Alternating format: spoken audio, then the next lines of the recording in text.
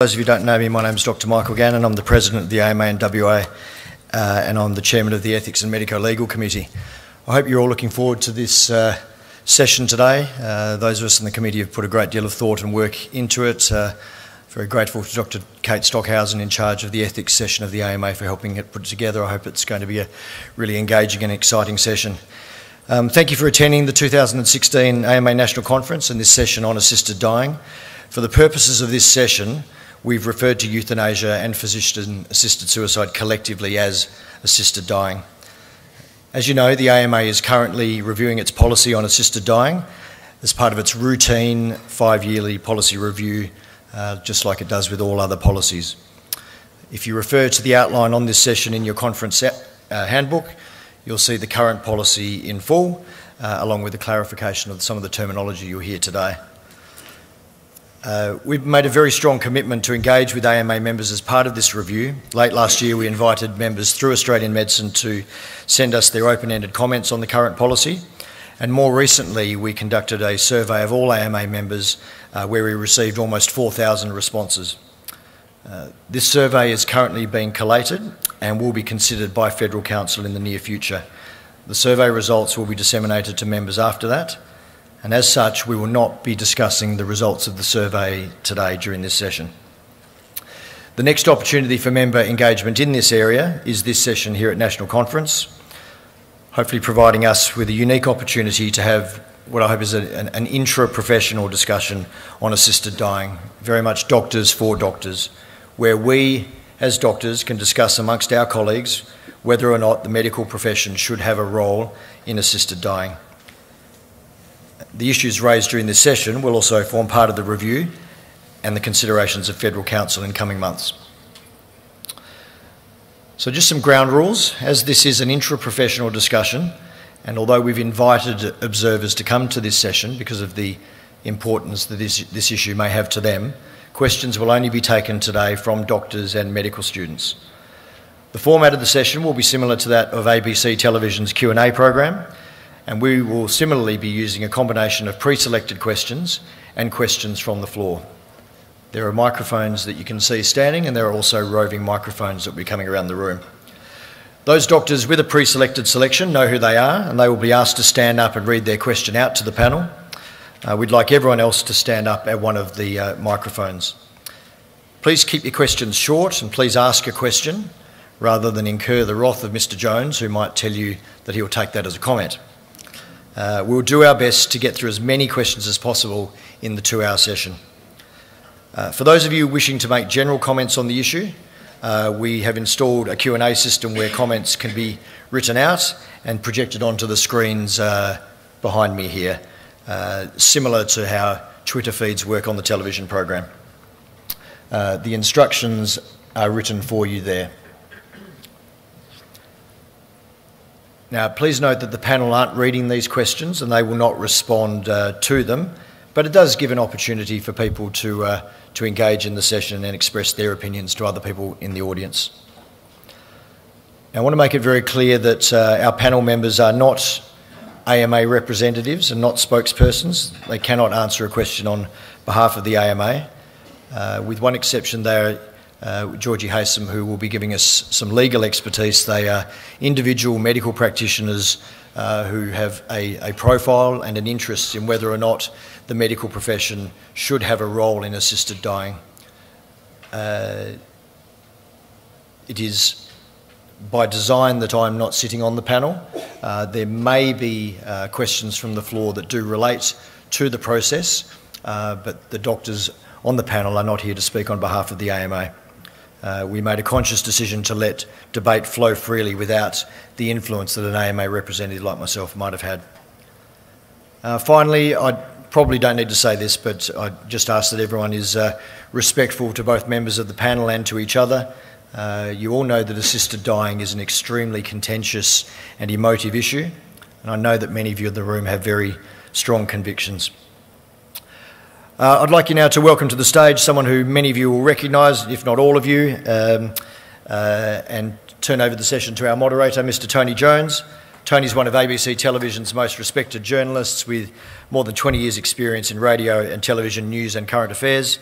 He anchors Lateline on Wednesday and Thursday nights. Um, Tony began hosting this award winning news and current affairs program in 1999. In 2004, he received a Walkley Award for Best Broadcast Interviewing for a series of interviews on Lateline. And as you all know, Tony also hosts the ABC's Q&A program on Monday nights. Um, we are delighted to have him with us today. He will introduce the panellists, but uh, please make uh, Tony welcome. And Tony, I'll leave you in charge.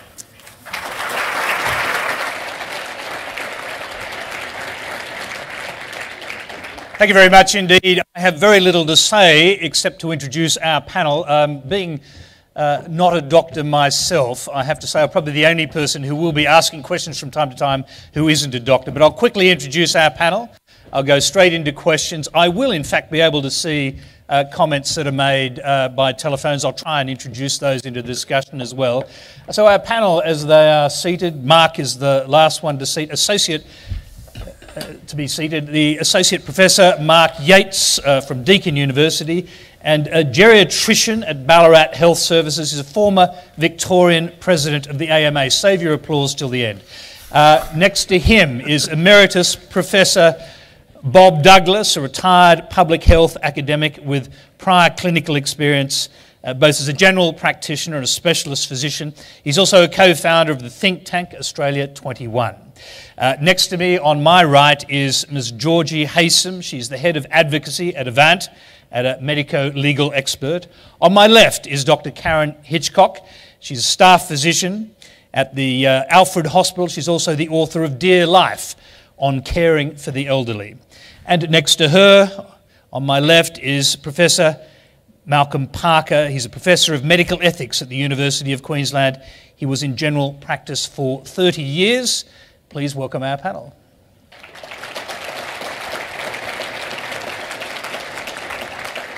Thank you very much. There should be a microphone somewhere near our first questioner, Dr. Robert Marr. Will Dr. Robert Marr please stand up?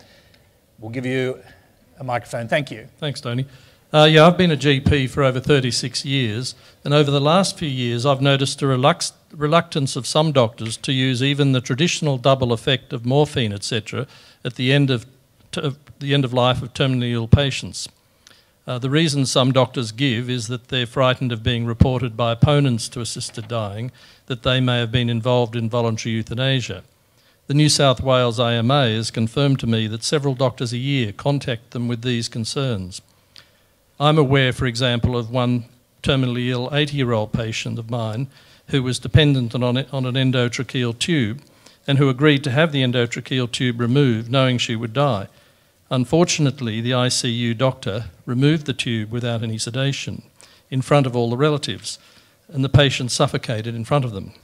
When they asked the doctor, Why didn't you give us some sedation? he said, I, I didn't want to appear that I was being involved in voluntary euthanasia this is a, this is a concern that's out there for a lot of doctors that there there seems to have been well I, I, believe the discussion about assisted dying over the last few years has created a backlash with those opposed to assisted dying um, and this has resulted in some patients in in terminal care not receiving the ideal care. I strongly believe it's time that terminally ill patients had the right to request uh, medical assistance at the end of their life if their suffering is too great after receiving the best palliative care. And I think it's time that we considered such models as the Oregon model, which, which involves self administration, because this um, has no, it gets over the problems of doctors administering a lethal dose. The doctor doesn't administer any lethal dose, the dose is only available and with very strict safeguards for a terminally ill patient to self administer. So I was wondering what the panel thought is this Oregon model of self administration a policy that could be acceptable uh, in the future for the AMA as we consider this issue? Okay, let's go around the panel. I'll start with uh, Malcolm Parker.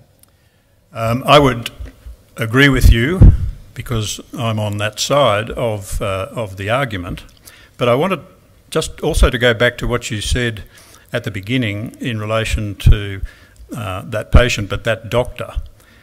It's widely understood now on the basis of good evidence that, and I don't mean this to be offensive in any way, that doctors' knowledge of the law in all sorts of areas, including this one, the end of life, um, is not particularly good. In Queensland, there was a, uh, an act, the Palliative Care Amendment Act, which was passed, which was purely to put into legislation what was already understood to be a common law availability to doctors, and that is the double use of the double effect doctrine. But they had to put it into legislation, and even in Queensland, um, with such legislation, I'm not aware of any other specific legislation, but with that sort of legislation, what you're talking about still exists. That is, doctors and other health professionals are worried that if they do what we call good medical practice um, by treating symptoms as they arise, even if that has the effect of causing death, then they'll get into trouble. That, of course, is not the case, but we still, doctors still need to be disabused of those beliefs. Malcolm, I'll come back to you um, on the question of um, the Oregon laws because I think we will discuss that uh, as a key part of that question. But just on that very issue, and I'll bring Karen in on this as well, the AMA's current guidelines uh, do appear to allow for hastening death um, in, with suffering patients. The administration of treatment or other actions intended to relieve symptoms which may have a secondary consequence of hastening death. Um, that incidentally goes against some of the principles of palliative care. Well, no, it doesn't. Okay. That's not true. I mean, that, that what that is saying is that we can use double effect, and double effect is just based on the the bedrock of medicine, which is that we treat symptoms. And so I, I, I completely agree with you that there is evidence that um, doctors are, or some uh, health practitioners are scared to give, you know, whatever dose of morphine because it might stop the patient from breathing. But I think that it's our responsibility to alleviate suffering in our patients. And if you need to give a dose of medicine that uh, does hasten their death in order to treat their symptoms, then that is already uh, legal. And I mean, but making that clear in legislation is obviously not enough. It need, there needs to be education around around that issue. I have heard uh, many palliative care doctors say it's part of their central principle that they cannot hasten death. Uh, is that not the case? Well, you, what you do, the issue is not uh, we never treat life; we treat symptoms. So um, the whole thing about hastening death is almost beside the point because what what you do is you treat symptoms. And you know, death is not the cure. Getting getting rid of the, the symptoms is the aim. So, yes, they don't set out to kill the patient. They set out to, or we set out to alleviate their symptoms, and that is the that is the aim. Okay. Can I just sure. quickly say that the, the difference here is that of intention. So, uh, if you intend to hasten death, then you are at risk uh, at the hands of the law. If you don't intend to, to hasten death, but if you intend to treat symptoms and an incidental secondary result of that is death, then you're okay. Okay. Turns on intention. Right, we've got a legal expert on the panel, Georgie Haysom. What, what's your view on this and, yeah. and the, the concerns being expressed by the questioner? Well, I think um, what Malcolm just said is absolutely right. It does turn on intention. Um, if you intend to cause someone's death, then that is under the current law murder, um, and therefore you could be prosecuted. And that's why the law of double effect came in in relation to the use of um, medications at the end of life to reassure doctors. I would agree with Malcolm that it's about education because this has been around for um, quite a long time, I think, this doctrine at, in common law and in legislation, and yet doctors um, and other health professionals are still concerned about the implications of um, treating patients at the end of life where it might end up, well, some people may think that it hastens death. Yeah, I'll go to Mark at the end to hear well, your view. I, only to add, I, I, agree with everything that's been said. I, I, think it is an issue of education. I, think the issue of the, the question of double effect comes back to whether or not uh, we uh, as a profession are allowed to practice as a profession and that is valued in the community, or whether we want lawyers to try and wrap up these very, very complex decisions in particular pieces of law. The AMA is very clear about its policy in relation to double effect. Good medical practice is a very safe and well defined entity in legal constructs and uh, and the double effect is is is available and is used on a day-to-day basis in practice because we are trying to treat a patient's symptoms.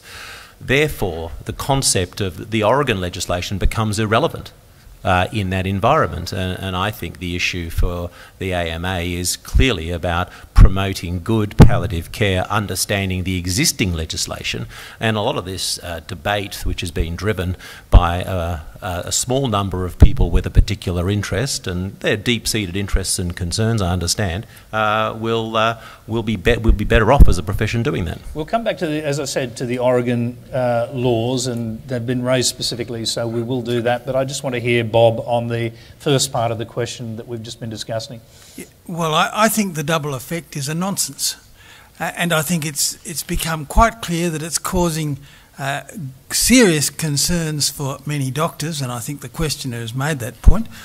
Uh, but I think it, it also is a concern for the community. The community is, is absolutely united on the view that they believe that we should not treat our community uh, worse than we treat our pets.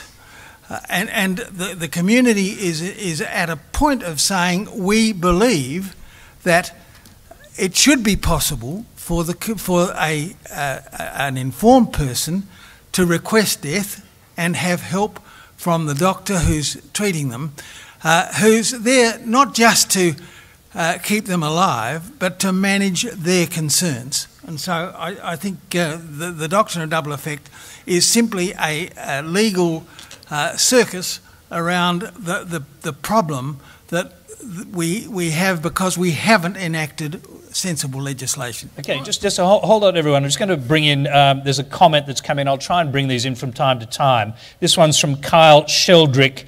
Why is paternalism taboo in all other aspects of medicine, but we deny any role for patient choice in choosing to die on their own terms? Karen, you wanted to come in. You might like to respond to that. Uh, well, paternalism's not taboo, really, when it comes down to it. We just pretend it is.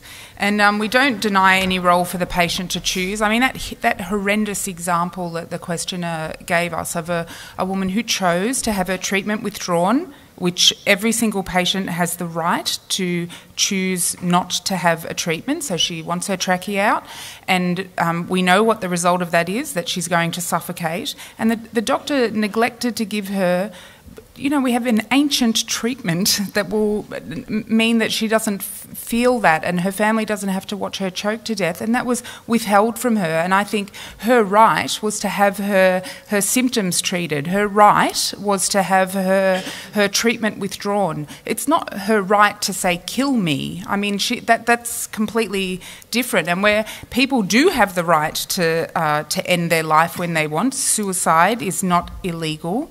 But, but we, what we're asking for is a right um, to kill, that is a right to give doctors, you know, the right to kill, and a right to uh, demand to be killed. And both of those things, we I, I don't think that we have that right. Okay, um, that's actually a perfect segue in a way into the Oregon laws, which were canvassed by the question. And I'll go uh, to Malcolm first on this. The Oregon laws are interesting in that the doctors are at arm's length. The Oregon law is incidentally about to be uh, taken up in California too, so um, another 38 million uh, Americans will be uh, under the same kind of laws, but they actually give doctors the right to opt out of the system completely. And when it comes to their involvement in the system, it is about prescribing, not administering. In fact, they're prohibited from administering. So I just wonder if that makes a difference. Malcolm first. I think that makes a difference. I think it, it it's intuitively more appealing, even to people uh, who oppose the legalisation of euthanasia, to use that single word, um, that physician assisted suicide be um, legalised. So if you were opposing it, you would say, okay, well, that's better than the, the, the full Monty, as it were, uh, the lethal injection. And that is because at the, right at the end point, the patient still has control. To pick up the point about paternalism and patient control and patient autonomy. So it is more intuitively appealing um, to legislatures, uh, uh, to doctors on the whole, I think, and probably to the population.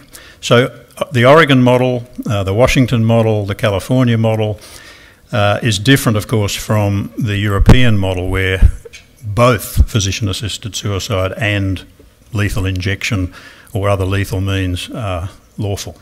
Um, so, do you think the Australian public would be prepared to accept, given the overwhelming, in terms of opinion polls, um, the overwhelming number of people who want uh, some form of doctor assisted dying, only according to opinion polls, I hasten to add.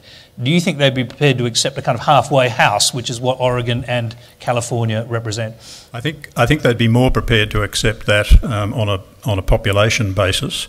Putting that another way, it'd be more likely through the political system, uh, through the state political, through the state uh, parliaments, to get that sort of legislation through than the double whammy. It's just preposterous. If I write a script um, I take responsibility for giving that medicine to the patient. A script is a recommendation. I don't, uh, obviously, a patient has a choice not to take it, but if, if a doctor gives a patient a script, they're saying, please take this warfarin, or, you know, this is my recommendation to you. And if a patient comes and says, I want to die, I don't say, well, it's up to you. Here's the script, take it or don't take it. I mean, it's just, I think that, that that's if you think double effect is uh, preposterous, then the idea that somehow uh, the doctor's responsibility or that giving someone a script is not an act is equally preposterous. Uh, look, can I just can I quickly say um, I couldn't agree more with what you said. What I said was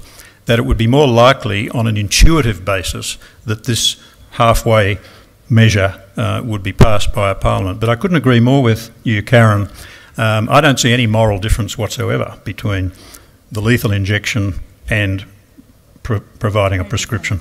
Let's hear from Mark at the end. He's so, Tony, take your own take your own words. I mean, so if it's a halfway house, where's full house? Because I think that's the real question in mind. Um, so what well, are well, what is what is the AMA trying to achieve? You asked the question, so I'll, I'll explain what yep. I meant by halfway house. Uh, a full house is a doctor administering the medicine or the lethal dose, as in Canada or the European models. Halfway house is at arm's length. That's what I was thinking, just to clarify. Okay, so that would include then the, the, the, the uh, both the Dutch and the Belgian model, where potentially as existential suffering could be included. So the example of the uh, man with early dementia, which is close to my heart as a geriatrician, was able to convince whatever process they had that it was reasonable for him to take his life, uh, that under the Groningen principles, uh, that it's quite reasonable for children to also uh, receive euthanasia, which is, exists as well. I understand the conditions were for um, uh, terrible skin conditions, but these are the realities of the full house. So that's, your, that's where we're talking about. So uh, my question is, what is it that the AMA is trying to achieve? Uh, I, think we've got to actually realise that this is a debate uh, about advice to a federal council uh, in a membership organisation. And we're, if we're interested in anything as an AMA, according to our strategic view, uh, and that is to actually achieve a better health for those in the community. Uh, I'm just wondering why this extensive debate uh, about a small piece of legislation around euthanasia is taking dominance over an extensive and important debate about better palliative care and the introduction of good and widespread use of advanced care directives. Uh, reasonable question? Bob, before I bring you in, I'm just going to bring in Georgie because um, you're obviously here as a lawyer and you actually have looked at the various laws and the differences between them. So, since the Oregon law was raised by that question, what does it mean for doctors in Oregon and now in California? So the Oregon law has some quite detailed requirements, and actually, uh, some of the requirements are quite similar to the Rights of the Terminally Ill Act that was passed in um, the Northern Territory 20 or so years ago, uh, which, of course, we all know was um, uh, kind of made ineffective by some federal legislation. So the, the interesting, I think, thing I think for doctors is that there's quite a few safeguards in the Oregon legislation. Um, no one can be compelled to, as, as, we mentioned, end someone's life through a lethal injection. So it certainly doesn't deal with um, active euthanasia using that terminology. Um, there's so, and no one uh, can be forced to participate. No healthcare providers under any duty to provide um, physician-assisted suicide. So there's those sorts of provisions in here. Which there's, is effectively an opt-out clause. Yeah, that's it. Hospitals can't be uh, forced to participate in this um, in this legislation. So there's those sorts of uh, safeguards for those who don't wish to be involved, and for those who do wish to be involved, then there's immunity from prosecution um, and liability uh, and disciplinary action if they act in good faith and without negligence. And Bob, So the doctors are safe. What about the patients?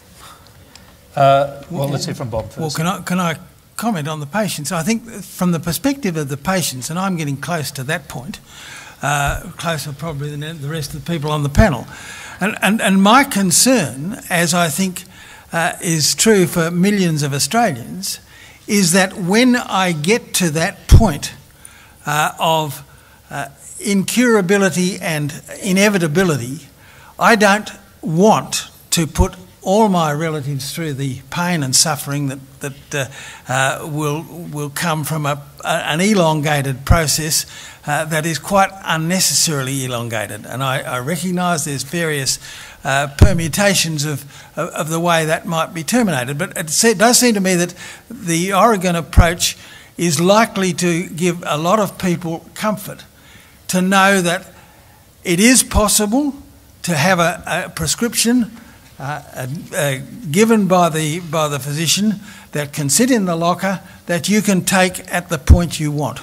And it seems to me it's absolutely ludicrous that we, we prevent that from happening in Australia at the present time.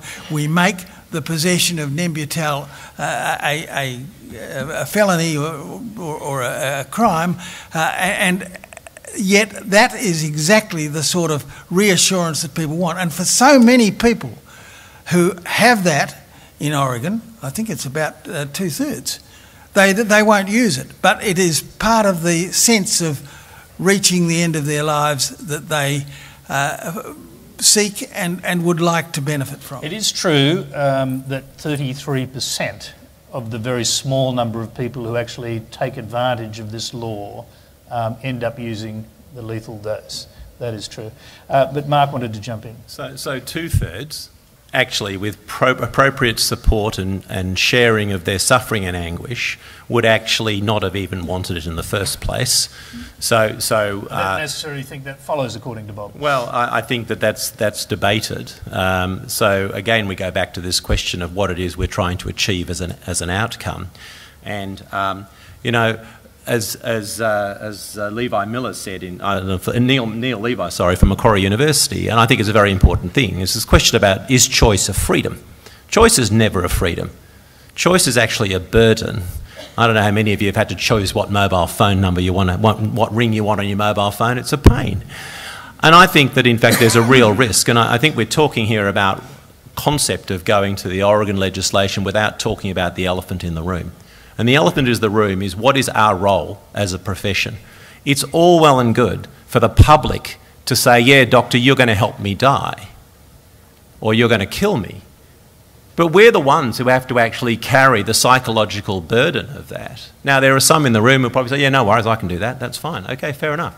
But this is a profession we're talking about. We have, we have a capability as a profession. We are in this space all the time. As a geriatrician, I am in this space every day working with people who are diagnosed with dementia, who face all these sorts of difficulties, and we share them together.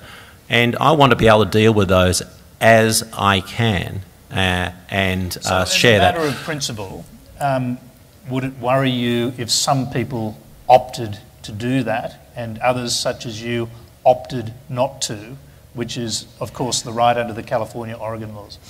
My issue here is that, in fact, the question in, in, in providing the option, providing the choice, I'm actually applying a value to that life. So if they were to say, I've got dementia and I know that in the next eight years I'm going to become dependent, right? Therefore, there's a cost to the community. Now, if, if I've got choice, so then surely my choice is, is now, now if I choose actually to go on and be a burden in someone else's mind, not my own mind, to the community.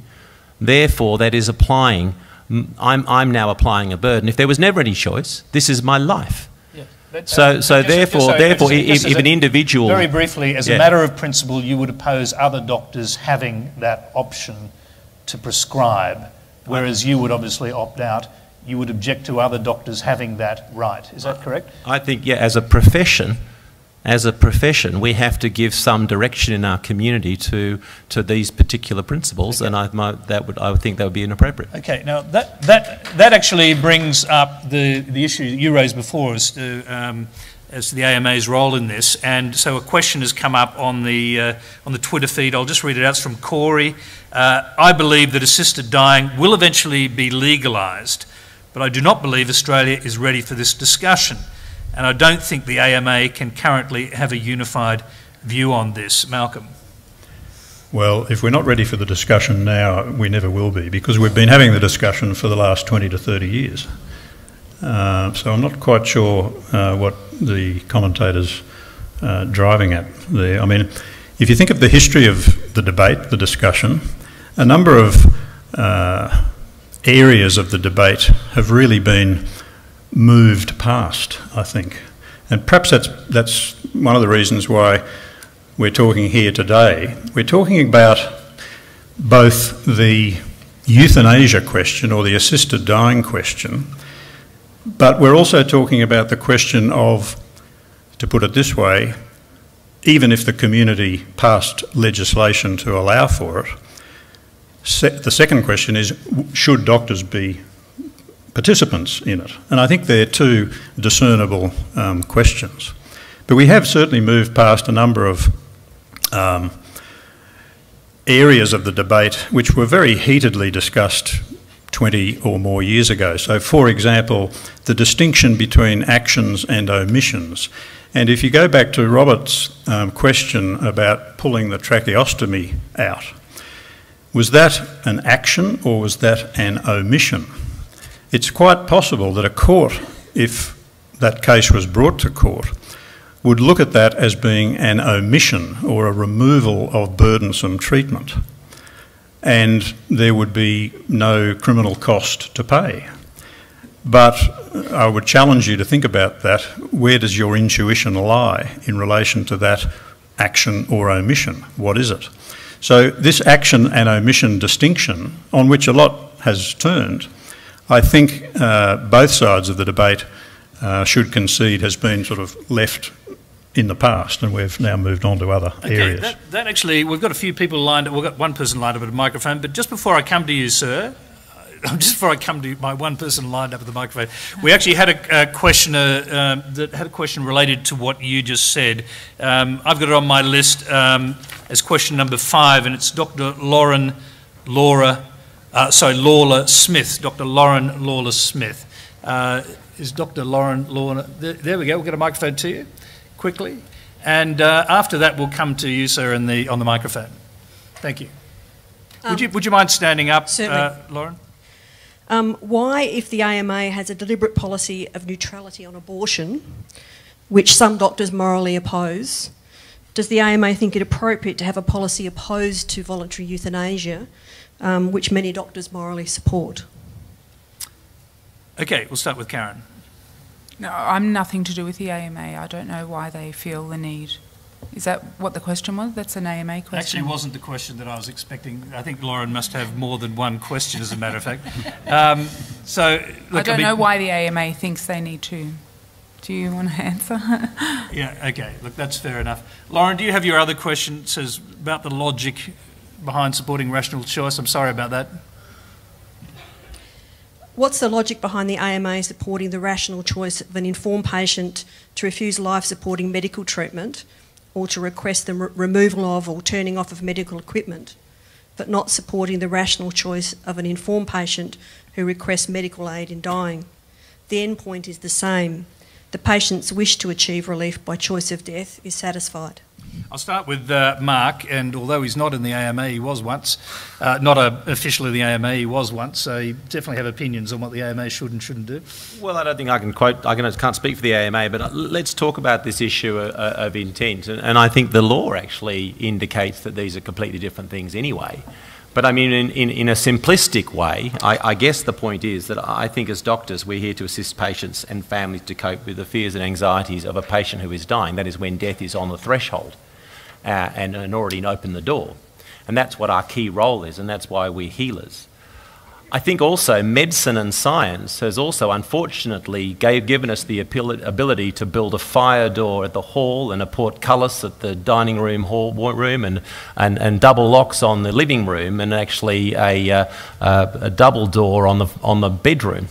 And so, you know, we, in the attempt that hope that death might get bored or walk away. And I, think that we have, if any of us are in practice, any of those of us who are in practice, and interestingly, a lot of the calls for euthanasia comes from those who aren't in practice, um, uh, or certainly those at the interface um, of, of this particular area, would say is completely different taking out an endotracheal tube of a patient with chronic obstructive airways disease in ICU and supporting them while they die and that's a completely different thing than saying to someone with mild dementia who says, I don't want to live for the rest of, for, for the next eight years, yeah, come on, we'll, uh, we'll arrange so we can actually extinguish your life.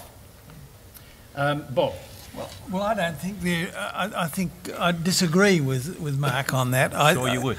Uh, I, I do think that for many people, uh, the the they can't make the distinction that you've made, and, and I think the law, as I said earlier, is an ass on this. That's it's, why it's an, profession, Bob. What, we're what? the profession to help. That's why we're the profession. I mean, we get paid $200,000 a year to make these sorts of decisions. That's why the community gets it wrong. I see. So, uh, eighty-three of the community has got it dead wrong. Well, uh, uh, you've got to ask and, the question. And uh, Mark, we, I think, Mark, I think you better let uh, Bob uh, waited patiently for you to make your answer, and I think you probably should and hear we, him out. We, the professions, know professionals know better and can make this this crazy distinction. To, to, my mind, the, the the problem is that this distinction has been. you say it's the law the law is made by the community uh, and, and our, our representatives. Uh, the, the community is demanding or, or, requesting that we change this. Uh, it's not happening, uh, and, and something's happening uh, that organisations like the AMA are standing in the way because they think they know better. For God's sake. Uh, the, the problem is clearly that a lot of people get to the point of seriously feeling they want to end their lives. Now, it's true that uh, they may change their minds. It's true that they may be depressed. It's true that there may be a lot of other factors operating. But uh, a, a significant number of people feel that unless they can have that possibility, life is seriously troubling to them. And I don't think all the professionalism and uh, pretense that the, uh, that the medical profession makes it, that it knows better uh, is good enough uh, for the community at large. Uh, Georgie, I'll just bring you in on the, the pure legal question. So, effectively, it is legal to take someone off um, all forms of treatment and to allow them, even in palliative care, uh, to starve to death. But it's not legal to hasten their death um, it's not legal to give them medicines which kill them, even though they ask for it. Um, so is that is that as clear cut as that?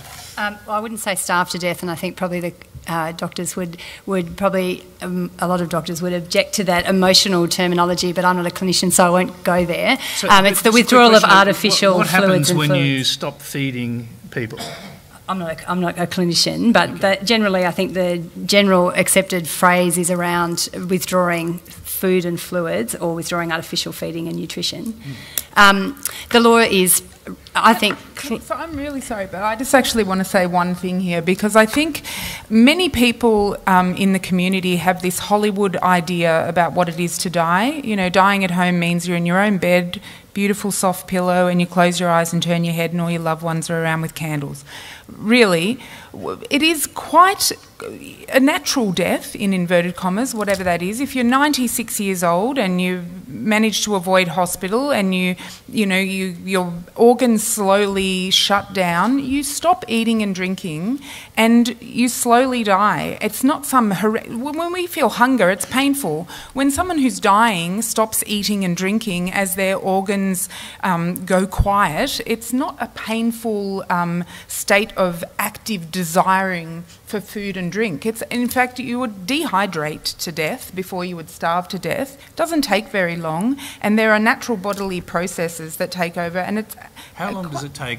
Um, actually, Karen, I mean, is there a, a sort of is, is there an average? You can't go without water for more than a few days. I mean, how long can you go without water? Not very long. It just takes a few days, and it's not some terrible. You're lying there like this. I mean, I hear it all the time in the media. People starving and dehydrating to death, and you know, it even makes me feel scared. There is so much fear out there. There is such a lack of good palliative care training and education, and we need to start there at least before we start going. Oh, let's go in for a clean kill. I mean, it's just really. This can get so emotional and I'm so sick of TV shows because this makes great TV. You never ever see any documentary show running you through a family whose family member is in hospital having an excellent palliatively palliative care led peaceful death. Never would you see that because it's just boring, isn't it? I mean, you, what you want is terrible stories of suffering and drama, and they do happen. That's that's the shame for us, and we need to take responsibility for that and really pick up our game because the public is really scared and that's why it's become so emotional and such a big issue, which really, if we had good palliative care, it's not. The euthanasia question is not one question either, it's many things. The situation of somebody with metastatic cancer in the last days of their life in unbearable pain that is one that's one question and really that's the only thing that's got, that legislation will be made about then there's the next question of whether people with uh, neuro, you know, neurodegenerative diseases, should they be allowed to uh, um, have uh, uh euthanasia? I mean, that's a completely separate question. The first question, I think, is simple because if there's access to good palliative care and then the, the patient's uh, symptoms can be treated. The second issue of the, you know, any sort of neurodegenerative disease is a completely different issue, and I don't think anyone in Australia is yet saying that people, you know, with uh, early dementia should be allowed to kill themselves. And the third part of euthanasia is when you just feel that you're um, you, you, know, you, your illness is going to go on for years and you're going to be a burden to your family and you should be able to ask your doctor to kill you. I mean, you know, suicide is a really big issue amongst elderly men and young men. And for some reason, whenever an old person kills himself now, we go, oh, that's why we should have euthanasia. But if a young person kills himself, it's like we're saying, well, obviously the old person would want to kill themselves because their life's not worth living, is it? I mean, you know, as if they can't be feeling despair, worthlessness, you know, pain, fear, loneliness. I, I, my, view on this issue has, is not based on religion. I'm atheist. It's not ideological. I am completely far left progressive and am amazed that the progressives are all pro euthanasia. It is, just comes from my experience of working in a general medical ward for the last 12 years looking after the, the, the oldest patients, the drug addicted patients, the dispossessed, the homeless, the most vulnerable people in our community whose lives are extremely painful and who very often feel that life is not worth living and that their life is intolerable and they come for help. And if they have the option of coming and asking for me to kill them they will my job is to say, why do you want to die? What can I do to make your life better or bearable in some way? Malcolm, uh, on the principle that you never interrupt a brilliant monologue, I didn't interrupt Karen uh, for a moment, but she did raise a whole bunch of issues. But let me take you right back to the question, uh, which was about whether there's a uh, some sort of um, disconnect uh, between the AMA's position or the general position that you can take people off uh, medical care and hasten their death or and allow them to go to their death, um, take them off food and water, uh, but you can't give them an easier, quicker option. Well, I think, uh, and I'm sure that Georgie can uh, supplement this uh, or give a better account than I can, but the law historically recognises intention, as we've already discussed before. And so if you intend someone's death, then, as Georgie pointed out, that's tantamount to murder. But the law also recognises uh, the fact that omissions can lead to death, And the law is peppered with uh, indications of where omissions to do all sorts of things uh, can be met with criminal or other aspects of, of, legal sanction. So again, we get back to this um, acts and omissions distinction. So if you in, uh, the distinction, and I think a lot of doctors uh, take this to be the case. If you intend to cause death, that's unacceptable. It's um, unacceptable professionally, medically, and so on. But if you intend to remove burdensome treatment, that's okay because if you didn't, you would in effect be it would be tantamount to assault by continuing the treatment.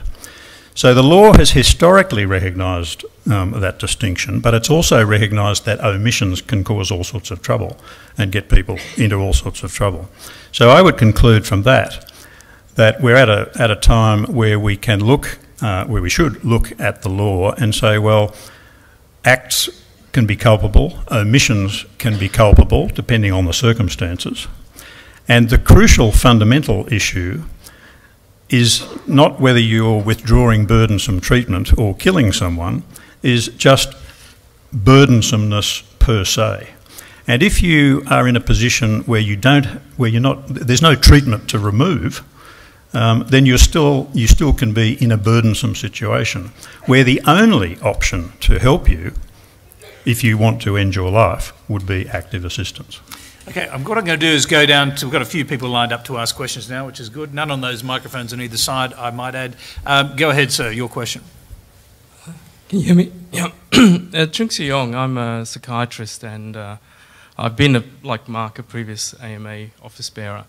But I just, uh, I wanted to sort of uh, ask a question to the panel, I think, which might answer one of Mark's questions about why we're here and why is the AMA interested. And I think uh, my question is about you know, the, whether you think if the role of a doctor in relation to their patient changes because of some kind of legal ability for doctors in some circumstances to kill their patients or to help the patients die, whether that, what do they think will, how that will affect the way in which all of us, whether we take part in this or not, are going to be seen by, by our patients. And I say this because I'm one of the doctors who every day I'm asked, I see people who are asking to die or have tried to die for all sorts of reasons, mostly non, not to do with an, a medical illness of some kind.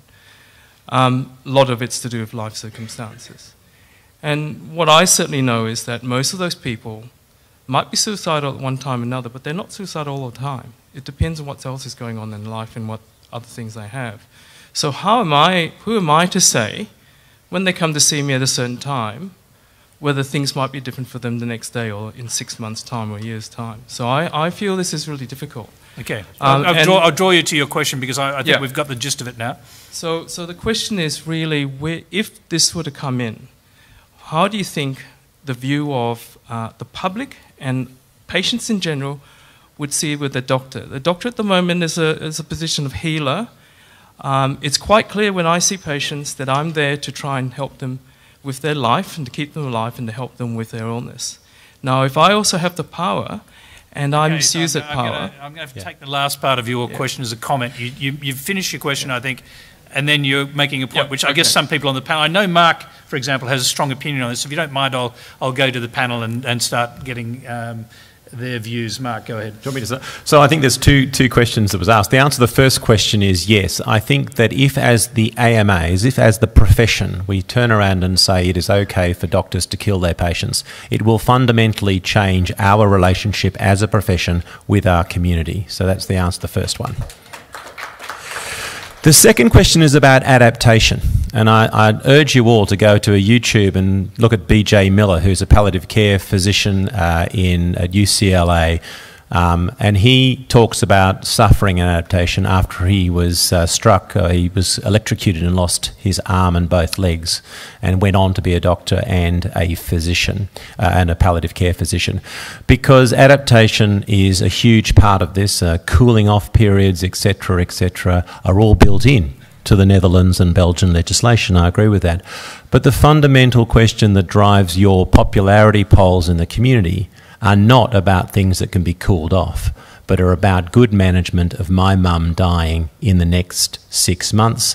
And no legislation is going to change that, but good palliative care, understanding advanced care directives will. But if we change the legislation, we fundamentally change our relationship with the community. So we should up palliative care and not change our particular policy. I understand the question. I understand fully that you are in a situation of being a healer and you're concerned that, you, that, that, we will change the label of the profession to being uh, something different. That hasn't happened in Oregon, uh, and it, it, it needn't happen if, in fact, you adopt the, the, the position that Rod Syme adopts that, that a uh, a, phys- a, physician is there to help alleviate the suffering of his patients.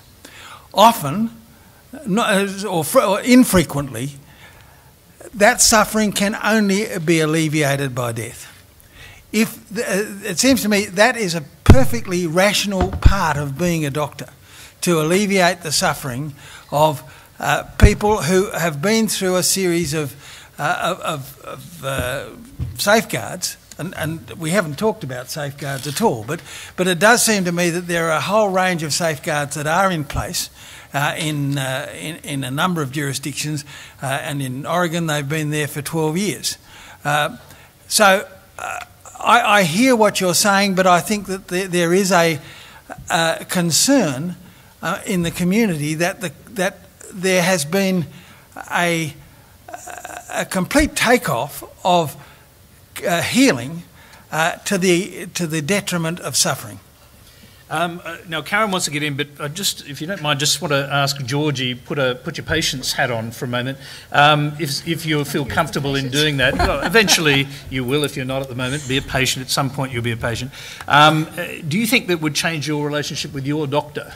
Uh, if you knew they had this ability? It's a personal question. Yeah, it is a personal question, and I promised myself and others that I wouldn't uh, give a personal opinion, so I won't. But okay. what it does raise, um, Choong-Siew's question raises a really interesting question, I think, as a lawyer about the role of law in society and whether law reflects society or whether law um, sort of imposes itself and imposes moral positions on society? I don't know the answer to that question, but I think in relation to the question about um, you were talking about the difference between withdrawing and withholding, and there's a oh, whole. Yeah, sorry, I meant to come No, no, that's yeah. all right. There's a whole heap of Malcolm will know it well, no doubt. The philosophical discussion around acts and omissions and whether they're philosophically um, equivalent. But I guess the role of the law is to draw a line where society says that this is acceptable or not. And I think that's what they've done in relation to with the laws done in relation to withholding and withdrawing treatment. Said this is the this is acceptable, but going further than that is unacceptable.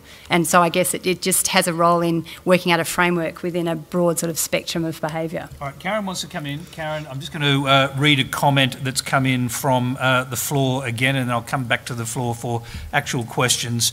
Uh, this is from uh, Dr. John P.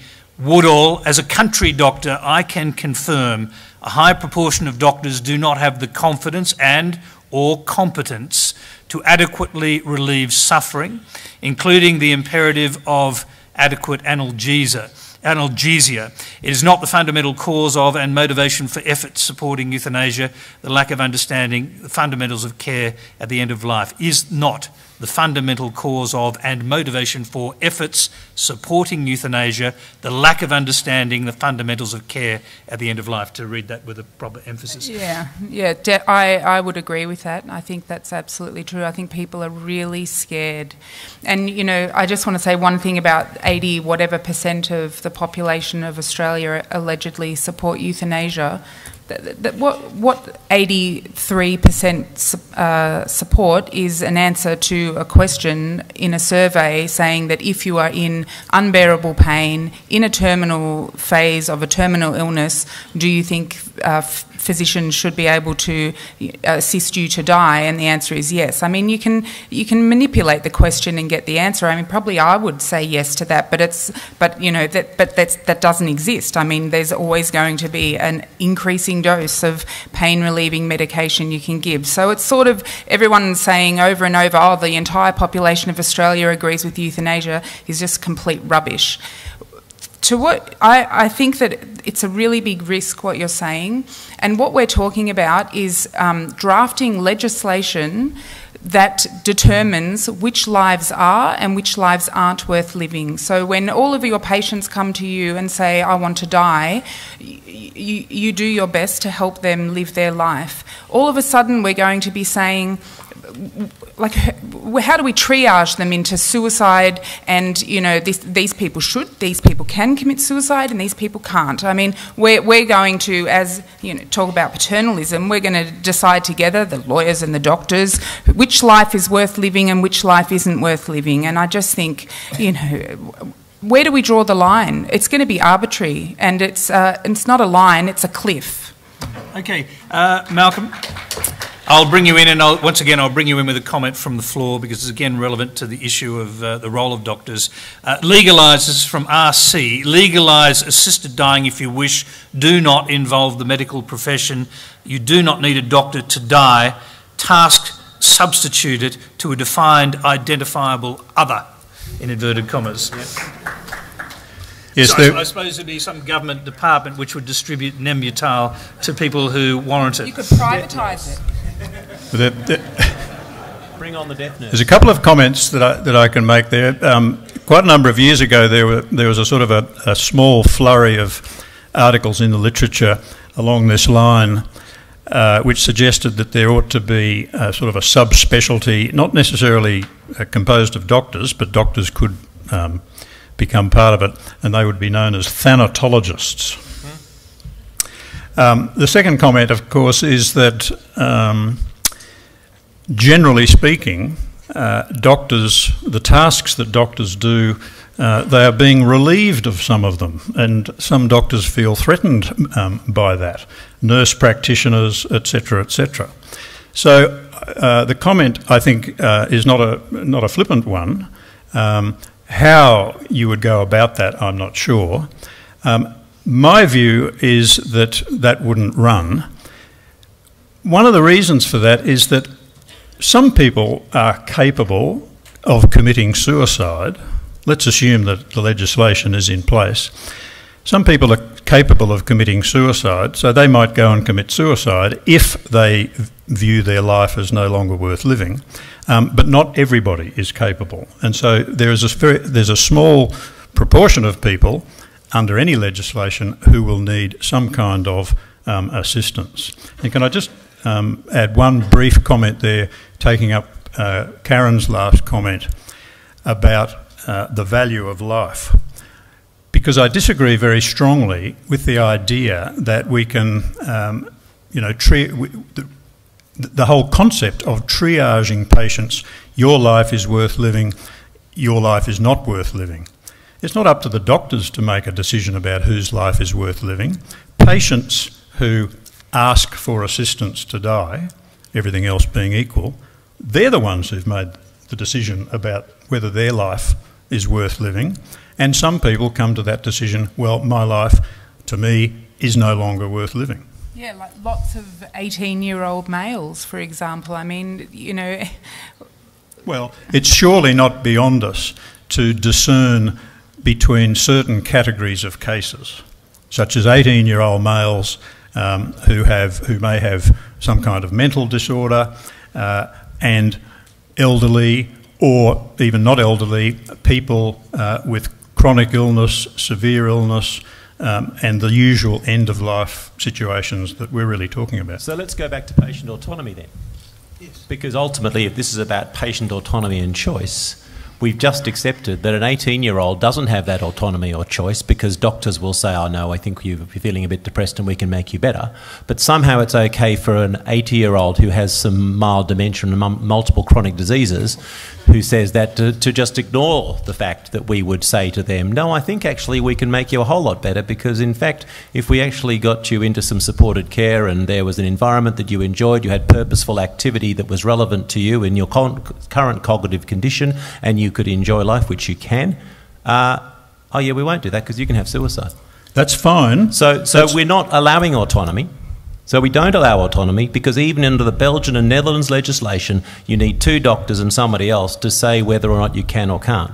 Sadly, it's all assessed retrospectively.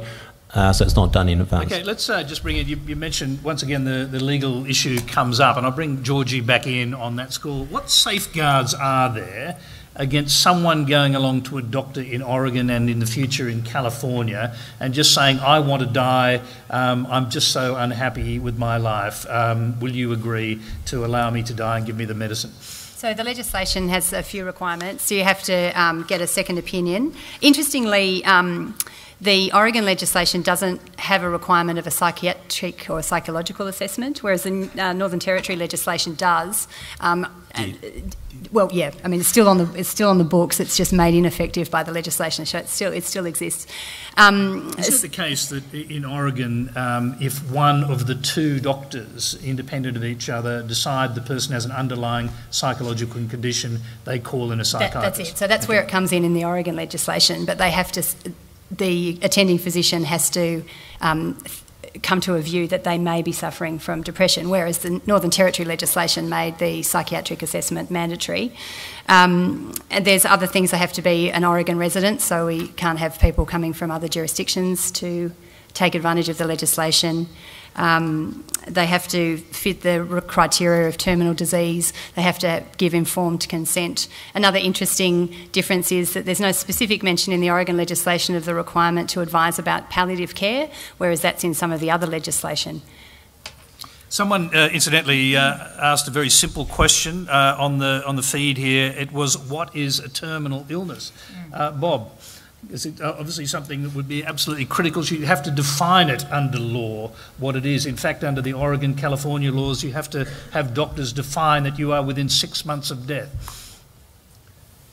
I, I don't know that I'm the right person to answer that. I haven't, haven't had to do that for a long, long time.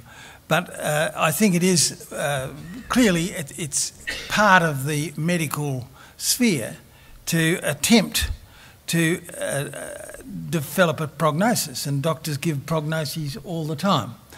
Um, clearly, somebody who's got terminal uh, cancer disseminated through many organs and, and is deteriorating and so on, uh, and, and has not responded to chemotherapy and radiotherapy, uh, that may be an, an, example. There are plenty of other examples, and I'd, I'd sooner leave it to the more active clinicians. Yeah, we're, we're, we're not bad when it comes to advanced cancer in prognosticating, but we're pretty hopeless when it comes to everything else, and certainly we couldn't bring it down to months. And interestingly, in Oregon, uh, something like only, I think, 15 or 20% of psychiatrists, when asked, said they could confidently exclude a mental illness in patients uh, requesting assisted suicide.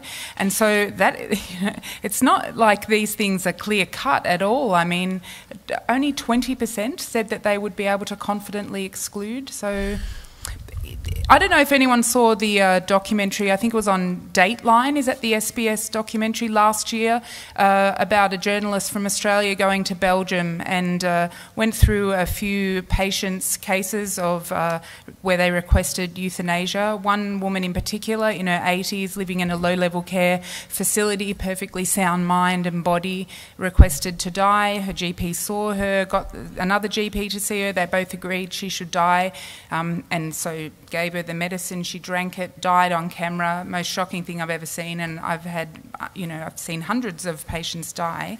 And um, she, uh, turns out her daughter was run over three months prior, and, you know, she was in a terrible, terrible grief state.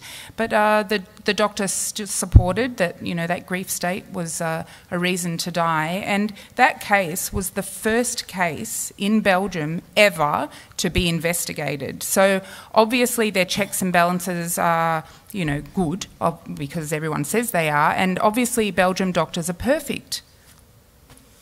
So can we go back to Okay, I'm going to. So uh, speaking of perfect doctors, we've got a very perfectly polite doctors all lined up at the microphone here. So I'm going to bring them in. Uh, so I've been. People have been jumping the queue um, like asylum seekers or something um, by getting on the Twitter feed.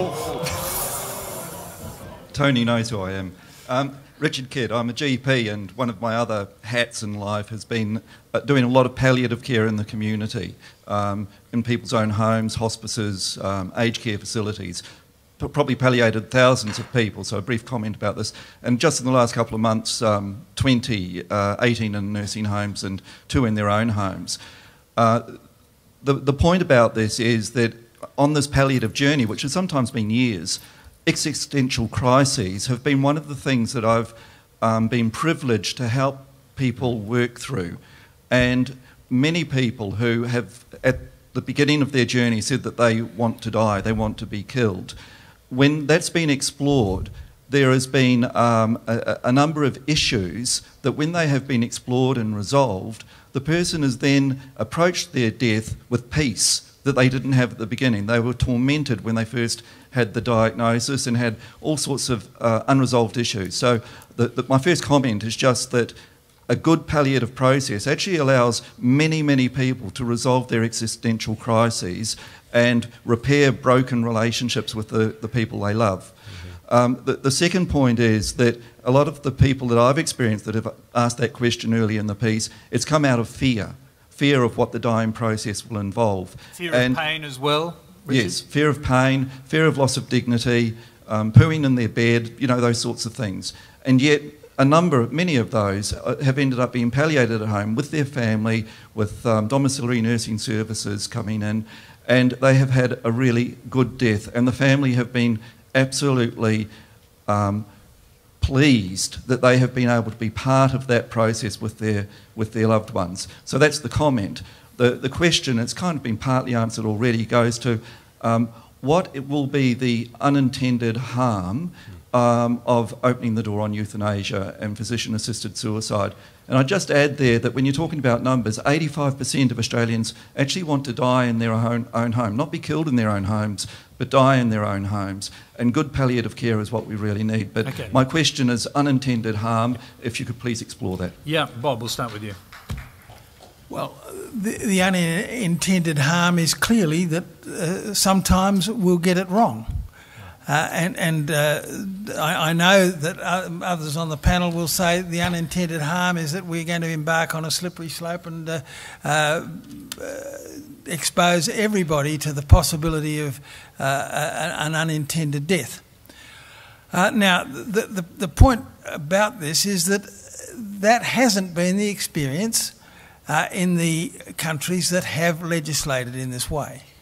Uh, it seems to me that we we we keep on throwing up these these possibilities, and I, I, I totally agree with you that we need to invest heavily in advanced care planning and in good palliative care. That's absolutely central to the to the to the last years of life. But uh, there's a lot of people in the palliative care community, including uh, my colleague Ian Maddocks, who, who uh, uh, who, who, participated in the round table that I chaired on this subject, uh, who, who has said that the palliative care people have seen this as a, an insult to their capacity. Uh, he, he adopts the view that uh, euthanasia and, and, assisted suicide should be decriminalised. Uh, and the, oh, he's in the minority, actually. Uh, well, he may well be in a minority. Uh, I don't know, and I'm eagerly looking forward to seeing where the AMA uh, as a body comes out. My understanding was that recently it's been about 50 50 uh, as the, uh, across, the, across the profession in favour.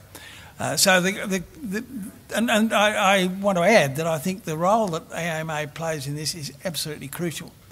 I do hope that the AMA will take a more neutral stance than it's done in the past, and, and that it will enable the community uh, and to, to move ahead and work out the, the, the, safeguards that we know are working in many countries already. And, and uh, as I say, we've, we've now got 12 years of experience in Oregon. Let me uh, bring in Mark, and Mark, I'll bring you in, um, I guess, with a bit of a reminder of the one of the points that's actually in the current AMA position statement, there are some instances where satisfactory relief of suffering cannot be achieved. This is in relation to palliative care. Um, I suppose the argument often does revolve around those extreme cases, uh, because in those extreme cases, you, you get families, as we've seen, you saw on Lateline the other night, uh, Shane Higson, whose mother died over 15 days in an extremely painful way in palliative care. Uh, those families often become advocates for a change to the law. And I think those uh, num- those examples are very distressing, and, and, we have examples in medicine where we have incredible cures, which are also fantastic, um, and then we have these very very complex issues where there is there, there is the small number of people now. The issue uh, is that, first of all, I think each of those cases is very difficult to understand in a media sense. So I've got no no knowledge of the true environment in which that occurred. I've got no no context uh, as to the length or the issues that were being addressed with the family during that time, and I have no idea also about what decisions were made along the pathway to that death that might have actually been a more sensible decision earlier if we had proper palliative care or proper decision making put in place. So I don't think we can draw and draw conclusions from single cases. What we can know, though, know is that um, the Oregon legislation really only relates to a less than one percent. So is that a significant number, as Bob puts it? Well, not on a statistical basis. It's not. Not if we take p-values as being relevant. Um, and then what is the number needed to harm or the potential risk in order to change the, the position that we have as a profession? And I would argue the risks far outweigh the, uh, the benefit, not because the slippery slope, because the slippery slope is an interesting argument. If you ask, uh, it's slippery in that once you step across or step over the cliff, as Karen describes, you can actually just keep falling but you don't actually have a slippery slope. What happens is that the, the people who who, who ask for, for changes to legislation just grows. So your halfway house, as you put it, is what everybody says, oh, well, it's only, there's never any slippery slope. But that's because it is only a halfway house. So if we're going to go the full house, then there's a slippery slope. So I think the, argue, the slippery slope argument is clever language. Um, and I agree that, that it, it's about legislation change. So I think the, the number needed to treat is not justifiable to the risks that are associated with this. So okay, Tony, um, Tony, yes, I will bring you in, and I'll bring you in just to, to, off the back of it because we've got someone who made a relevant comment here. It's from John Smith. I don't know if this is true or not, but it's come from the audience. Uh, overall suicide rates in Oregon among adults rose approximately 50%. 41% higher than the national average between 2000 and 2010. Uh, the legalisation of assisted suicide in 1997 has undoubtedly normalised suicide to an extent. How can the medical profession countenance normalising suicide? Uh, so that's an added uh, issue alongside the Oregon issues, which no doubt you're about to discuss. Well, I, I mean, I think uh, language and the difficulties with language come in here. Many of you will, will uh, recall a famous uh, quote from uh, Wittgenstein, who said, We can be bewitched by language. And when you use the, the bald word suicide, what do we think of? We think of the 18 year old boy committing suicide, we think of someone throwing themselves off the gap in Sydney, etc., etc. And we have an immediate association um, with mental disorder. No one's going to pretend that the vast proportion of suicides that occur uh, in all our countries are related to mental disorder. Rodney Syme, amongst others, has recommended that we stop using the word suicide and we use, as we are in this uh, session, use the phrase assisted dying because suicide brings up these connotations uh, over which there's a very strong consensus. So uh, I'm not sure about the figures uh, that, that are quoted there from Oregon. I can't make a comment on that. Yeah, uh, and more broadly, the, the issue that we were discussing earlier. Uh, you mean the, the, the distinction between physician assisted suicide and voluntary euthanasia, as in the case of uh, the lethal injection? Mm. Um, well, uh, what we were discussing earlier was the fact that uh, if legislation uh, goes through in any jurisdiction in Australia, like Oregon and the other US states that have legislated, it's more likely to go through on a sort of pragmatic political basis if it's similar to that model because we have, we all, I think, have an in- intuition that it's a little bit more serious, and some would say a whole lot more serious, to give someone a lethal injection compared with giving them, giving them a prescription. And we, we talked about this earlier in the session where I agreed with Karen that I don't see any moral distinction uh, between those two um, actions um, at all. But on a purely pragmatic basis, it is likely I, I forgot that that will for a happen. moment there, but of course the question that we were addressing before we digress a little bit was about whether palliative care, in fact, is the answer and whether it can solve all problems. Well, um, as we've heard, uh, there are some palliative care physicians who concede uh, readily that palliative care can't help everybody. Um, Bob Dent, the first person who availed himself of the uh, Northern Territory legislation back in the mid 1990s, was offered palliative care, had some palliative care, and decided competently that that was not for him. And it goes to what Mark was talking about before, where he said, well, we can kill the patient or we can offer them treatment and support and so on. And I don't see, I, think the problem here is that palliative care and assisted dying are seen as alternatives. I think that's a crucial conceptual and practical mistake. If you look at Belgium, you can see in practice the compatibility of the two um, concepts in the two areas, where assisted dying in a very small number of uh, proportion of cases is part of the palliative care system uh, in Belgium. I'll just quickly go to uh, some more questions from the floor. Go ahead, sir. Thank you. Uh, my name's Dr. Sean Rudd. I'm a uh, general practitioner in a nice little place called Hervey Bay in Queensland, which is known as the place where there are the newlyweds and the nearly deads. And the reason for that is it's, it's, it's also Australia's uh, nursing home, basically. or, there, no, that's right. You would never get a, another partner because there are no 40 year olds there. So it's, it's true. All right. a little that's a, a, little Hervey Bay joke between the two of us. We'll move on. Um, just to move things on to a slightly different place, and, and the reason I, I, said that with Hervey Bay was that we have seven nursing homes within a few kilometres, square kilometres, and uh, I'm lucky enough to go around those nursing homes.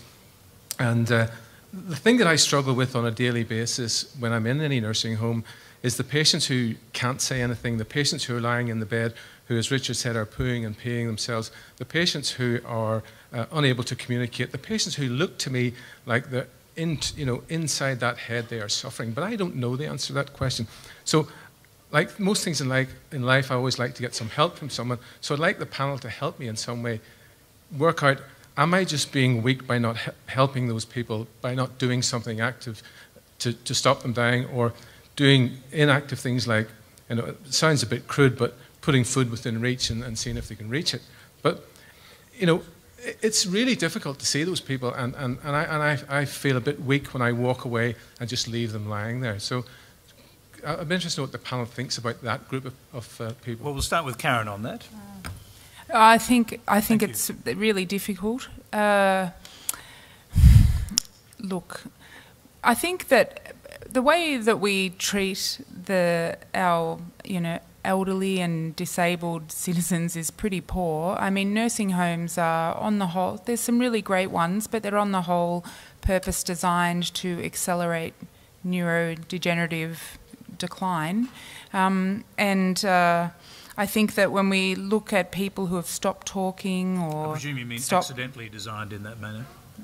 Mm. well, I'm not sure. They're based on hospitals and they're certainly not places that. Uh, look, there was a parliamentary inquiry about a year ago or something in, I don't know if it was in Victoria or nationwide, into. Uh, um, young people, young disabled people who were being forced to live in aged care facilities because there was no alternative. And the newspapers were full with of uh, stories full of outrage. You know, people saying, "My my daughter, uh, she's 50 years old and she has to live in these places with all these old people, and she can't decide when she goes to the toilet. She can't decide when she goes outside. She never goes outside. No one visits her. She, she's not allowed to choose what she has to eat. It's outrageous." And everyone said, "We need to do something about this and improve the lot of these people." But it was like this enormous blind spot. I mean, why is that okay when you turn 65? I mean, it's it was just crazy. I, I, I, I don't know what to say. each of those scenarios that you describe, they're all individuals, and they all have different stories and different, you know, different family situations. And in the hospital, I, you know, people from nursing homes, some with very ad- advanced dementia, come to the hospital for treatment of pneumonia, and sometimes they, they come because their family really values them, even though they seem that they can't communicate. And some, so we would treat that patient because that patient has a place in society and a, a, life that is considered valuable by people around them. Some people come in and they've got an advance directive that says they don't want to come to hospital. So we, you know, if the, we dutifully uh, look at everything that's happening and probably they'll go back to the nursing home with comfort measures. I mean, I don't think. Uh, as a GP going into a nursing home, you, you, you look at those patients or those those residents, those people, and you're, you're, you think they're suffering. I mean, we, we don't know. How, how do you know? Go back to our questioner. Sorry to interrupt you, Karen. Quickly go back to our question. Just go to the microphone again, if you wouldn't mind. Um, are you uh, just to get to the nub of your question? Are you are you wondering whether it would be more humane to um, to hasten the death of some of these people? Well, I think it goes back to what you would feel yourself, your own values, and. Uh, and my parents are both dead now, but I mean, they clearly stated to me that, the, that no way would they be, would, was I, would I allow them to be in that situation. And I think there's no way that I want to be in that situation. And I think that that's an important view. But however, I'm still too weak to do anything about it. And, and that's why I'm, I'm, wanting help people okay. to. to well, let's go to does that make sense? Yeah, yeah, absolutely. Uh, can, can I um, try and answer some of this? Because I, as a geriatrician, obviously, I mean, this is commonplace. Um, I think it's important to remember that dementia very rarely kills any. People very rarely die because of their dementia. They die of a complication as a result of neurodegeneration. So they die of a swallowing problem and pneumonia, etc. So the first thing I think is is important to make sure that when you've got a patient of this sort, that there is some clear advanced care plan and the family understand and are clear with you uh, about what's going to happen. Because remember, the only people who, who really are suffering here are potentially uh, the, uh, the, the family, because they're the ones who will live with the grief if it hasn't been well managed. And it's about the management of that. So can you judge whether the person is suffering or not? Well, I think we can. There are very good pain, uh, non-verbal pain measures now. There's the Abbey pain score, um, and you can ask nursing staff about grimacing and other things when there's movement. And, you know, the fact that we as a community value or we, we provide a value for people who are living and we support that, I think that's very important. And this is the very reason why I don't think we can afford to step across the precipice. Having said that, the population with dementia is very interesting. Um, and I put up a hypothetical quite recently in my hospital where we had a lady who had a dementia, profound dementia, but she was very happy in her dementia specific nursing home, managing and caring for the therapy dolls. And she had acquired a relationship with another man with dementia, and they sat basically hand in hand folding towels, and that was a life. Now, the question is that the family had said, well, if I didn't want mum ever to live, eh, if, uh, or she'd said, before, eight years previously, that, well, I didn't want to live if I couldn't recognise family. So we come back to this very, very complex question, which uh, I've put to people like Julian Savulescu. So, when is a body?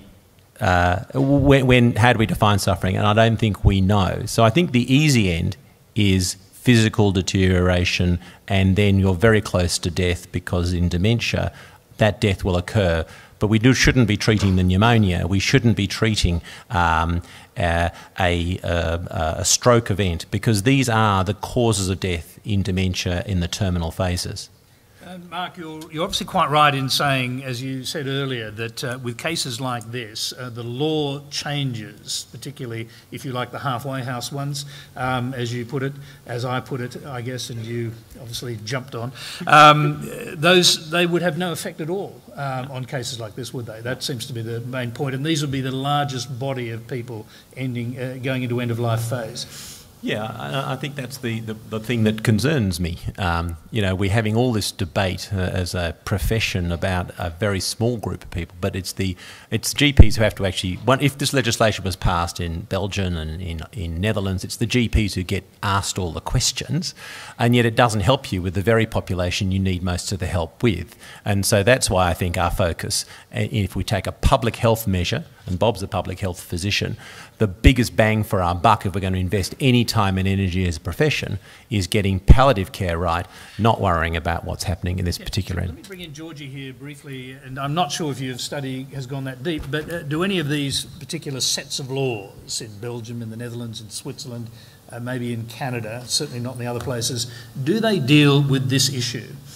Um, of, of, vulnerable people? Well, yeah. I think that the some of the legislation does um, allow non involuntary euthanasia. I think I have I have to confess I didn't go into the detail, and I'm sure the others on the panel will know this. But um, so there are some jurisdictions that do, but certainly the um, you know Oregon and Canada are all about um, competent adults requesting making a request. Yep. yep. Um, so, Bob, what do you think about this? Um, does it change your position at all? Uh, does it make you think, or do you think that there just needs to be a sort of segment of, of the uh, of the unwell community who are treated differently? I, I don't think this debate about euthanasia bears closely on the question, because I, I think that that is a, a, bigger and broader question. I do think that uh, a lot of a lot of the debate and I'm sure Mark would agree with this, has been generated because people are concerned about what is happening in our nursing homes and, and are concerned about the fact that, and, and I'm concerned, I don't, I don't want to die in a nursing home. I would like to have the possibility of a parcel of Nembutal uh, available if in fact I get to the point of uh, recognising for sure that I'm, I'm developing Alzheimer's. Uh, and, and I would have no hesitation in, in using it at that point. Now, uh, it seems to me that, that that's the, the point that we should be respecting autonomy. Mark, Mark laughed at autonomy. I think, I think we, we are autonomous creatures. We make decisions about our everyday life every, every moment. And uh, I think we have to respect the concerns that a lot of people have about what uh, precisely the question's been asked. But uh, there's no way we could have physician assisted suicide uh, quietly dealing with the problem.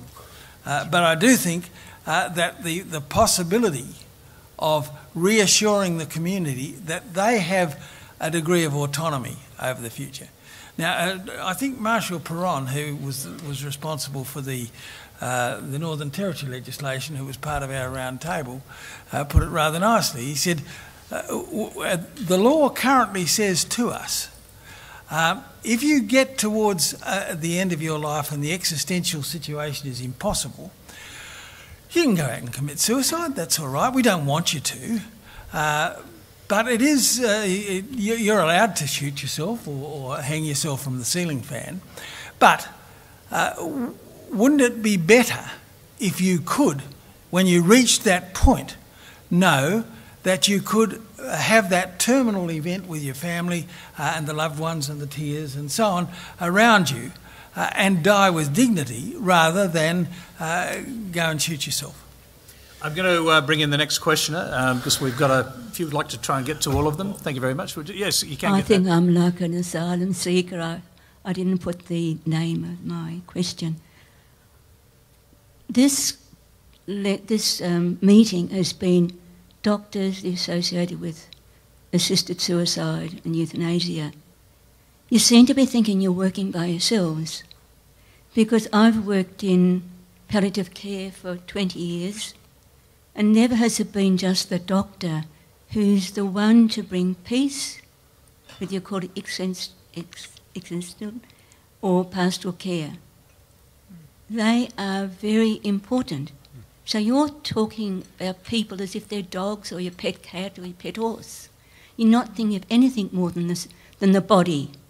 And you're thinking about your family, sure. But there's much more to it, to the person. And I'm just wondering why we're just so stuck in the AMA.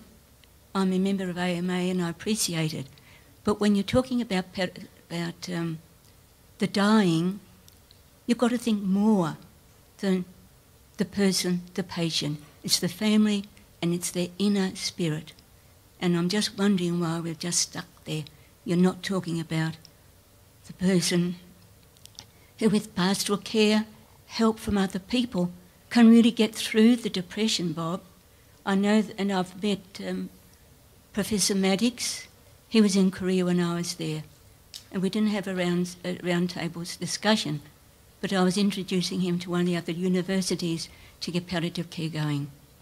So my question is, can we not increase the talk? Apart from doctors, doctors only, it's doctors and staff, nurses, and, and um, pastoral care. Mm. And patients. And the patients. That's the yeah, prime, okay. prime one. Let's uh, let's hear from Malcolm first. Um, I'll be I'll Thank be very brief. Uh, I couldn't agree with you more, um, and I, I would imagine everyone would agree with you.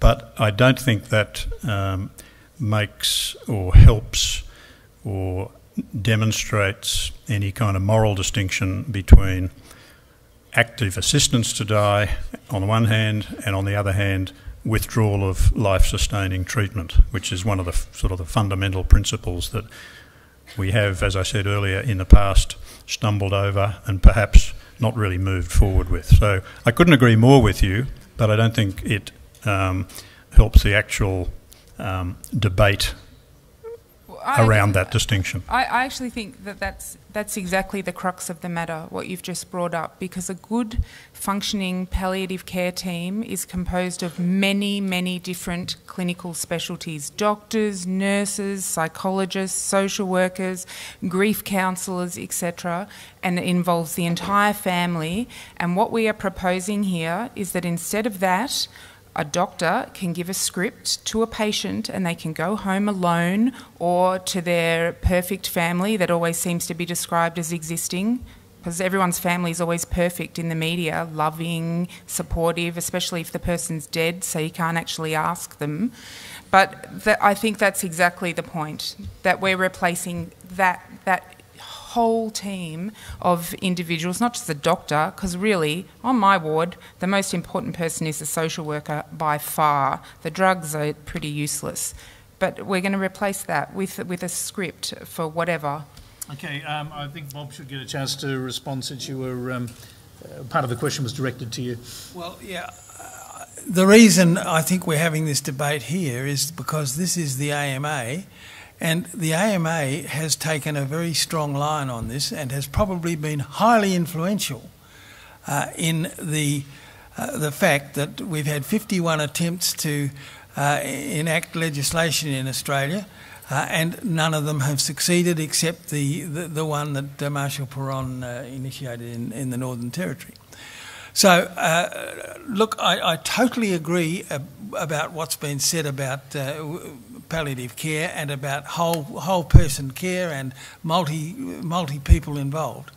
What has happened, uh, and the reason why I regard this as a very important uh, venue, is that I do think that the the medical profession through its uh, AMA has been highly influential.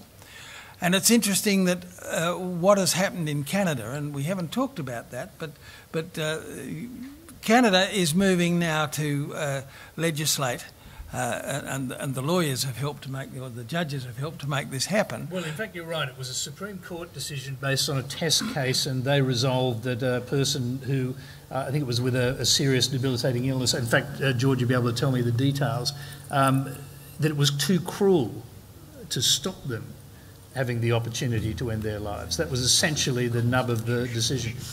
And, and, and the, the bottom line is that uh, assisted suicide will become legal in Canada if it hasn't come, become legal already. I think it's In within June. in June. Uh, the, the point about that I want to make is that the Canadians really acted. The Canadian Medical Association has acted with extraordinary responsibility on this and has put out a, a magnificent document that uh, is guidance for doctors. Uh, and and uh, is, is guidance for legislators as they move to put in place legislation to to uh, to make this firmer. Uh, and I think uh, it, it is not that the medical profession in Canada is taking a firm line one way or another. It is simply saying, this is the fact. There is going, this is going to happen. Now, if it's going to happen, this is what we need to do. And I would urge the AMA to uh, develop an, a document very similar to the one that the Canadian Medical Association. Probably would require a, uh, a High Court case. Their Supreme Court directed the laws had to be written. Um, Georgie, you can just perhaps, perhaps give us a, a better legal description Yeah, of that. it's, it's quite um, interesting actually to look at the Canadian decision. Um, it is heavily based on the fact that I think that the Canadians have a Charter of Rights and Freedoms, so they um, they analyse their laws in that context, which is different from us. And Malcolm and I were talking about it earlier. Actually, I can't imagine our High Court giving a decision like this. And they usually what they do is um, give a decision that says, well, it's not our role; it's up to the Parliament to make decisions in this area, rather than, as you say, um, Tony, essentially directing the court that it's. They were saying it was um, the provision against. Um, or the law that says that it's illegal to assist suicide as a practitioner um, is contrary to their Charter of Rights and Freedoms. And breach, then breach the human right of That's that it. particular test case patient. that's right. The patient had ALS, which Yeah. I think a lot of the um, test cases in Canada seem to have patients with that sort of neurodegenerative um, situation. Mark. Which is what happened in the UK. So the House of Lords said this is a parliamentary decision. It went back to the Parliament and failed. And that's what happened in Scotland. It went back to the Parliament in Scotland and failed.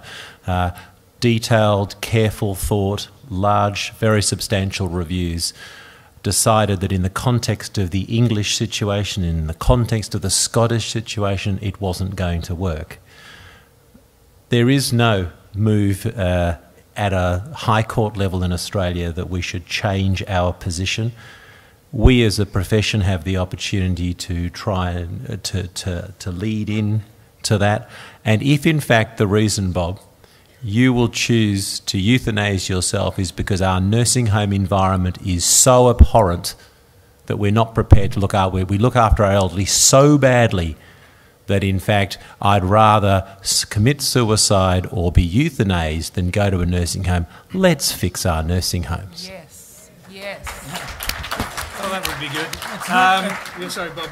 You can jump in and we'll just go to our next question after that. It's not because I think the nursing home situation is, is appalling. It's because at that point I would feel I was in a position to decide that my, it was time to end my life.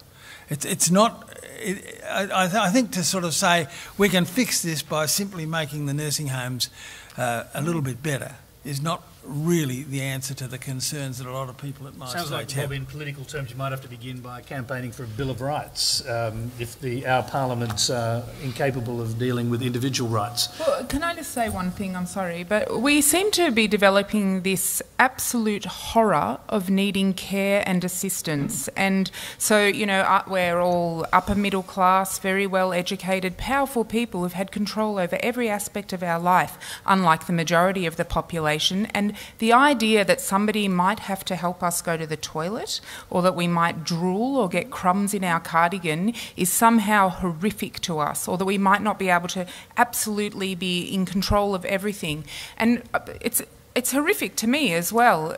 But the thing is that um, if, if needing care and assistance is horrific, what does that say to people who need care and assistance? I mean, if we say that it's so bad that we should be allowed to get a doctor to kill us, then what about all the disabled people? What about the people who need care and assistance? Like, to care for someone now has become something that's a cost to us, and to need assistance is a horror. And we've lost all of the sense of the mutually enriching and beneficial parts of that relationship. Um, does that... that's a good argument, but it doesn't cope with the uh, individual choice element of things. Well, so, should an, individual should, a, should an individual choose to think differently, um, are they being penalised by the current Th- laws? This is this is the thing that, that's always interested me about the, the about why progressives are so into euthanasia because it's we we have choice and we have rights and I, I thought that we have a society not just a group of individuals who happen to be co-located on a chunk of land. I mean your our choices as individuals affect all of society and I think that if we um, uh, give say that it's okay for some people's life to be considered not worth living, then other people in that situation, the fact that that choice exists actually does have an influence. It's not that every single choice is not influenced by social expectation, by your peers, by circumstance. I mean, choice is, doesn't actually exist in a, in a vacuum. Let's, uh, let's hear uh, Malcolm on that choice. Your choice will influence others in perhaps a negative way. Um, The well, option, giving that option, will it obviously has. But ha- that option is choice, right? Well, If at the moment, have- there's no choice to ask a doctor So- to kill so if you, But if we if uh, you if we change give the- that, if you change it, then you have the choice. yes. Then that's that's the point where we're at. So I just want to ask Malcolm about that. I mean, I think uh, the idea that having a choice and making a choice that someone else may not agree with will influence them um, to make a choice that they would not otherwise have made can be hugely overstated. We have choice in all sorts of walks of life. Our choices and all sorts of other things influence others. What we do, our actions influence others. This happens all the time. Um, but so I don't think I don't think that's a reasonable argument to say, well, we we we've got all this choice, but we won't offer this particular choice. Why not? What's the difference? Of course, it'll it'll influence people, but we're influenced all the time. Look, yeah, but we're saying that we don't want to be influencing people to feel. w- The, all the studies show that the main reason people request um, physician assisted suicide is not actually, the majority of people do not request it for pain. They request it because of feelings of worthlessness and hopelessness. So if we give the choice, what I'm saying is if we give the choice, then it it will influence people. I, I might just make the point um, in passing that um, the Oregon laws forbid strictly what you've just said. They give the choice only to people who are classified as being terminally ill with six months to live. So you're, you're not quite right about that. But the, I wasn't specifically talking about Oregon, and I'm saying people who request, not Yeah. people who get it, Uh, uh, people who request, the, the, the overwhelming majority of requests, the reason is, I'm not, I, I don't, I don't even know if that's in That's Oregon. not, it can't be true of the overwhelming majority of requests in Oregon because they have to No, go I didn't even mention. Oregon. Well, I, I, we Yeah. meant, we're just talking about it earlier. But Rodney that's. Syme would be not happy. I mean, he, he, that, well, the Oregon legislation does not suit his needs. Oh, you're right. You're absolutely right. So- It's- it's- so- it wouldn't go far enough for many advocates. That's true. Um, so, so the point about that issue is still valid, that issue of choice. the fact is, choice exists in Australia for a certain proportion of people. People who know a palliative care physician who's prepared to play around with this this, this crazy double double effect business, uh, and people uh, who uh, have something that can be withdrawn or stopped.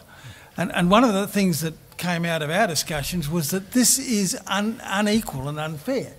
Uh, that that a certain group of people who who know a palliative care physician who does uh, support euthanasia and, and is prepared to uh, to do a Rodney Syme, so to speak, uh, have a benefit that that others of us don't, uh, and that the only way to make this real is to to legislate in a way that makes this equal for everybody. Well, you assume it's a benefit to know a Rodney Syme. What if the palliative care, what if the palliative care team are able to ameliorate the suffering of the patient, but if it's a Rodney Syme, they don't attempt to? I mean, it's not a benefit necessarily. Okay. Um, I'm just, so I'm going to interrupt you both. I'm, I'm going to give a question to that side of the room because I may have not noticed you standing there for a while. I'll come back to the middle after that. Go ahead. I haven't been here too long. Uh, Louis Christie, I. Another queue jumper. Yeah, another queue jumper. I used to work in emergency medicine and now I work in palliative care, so I've done a fair bit of hanging around death and dying.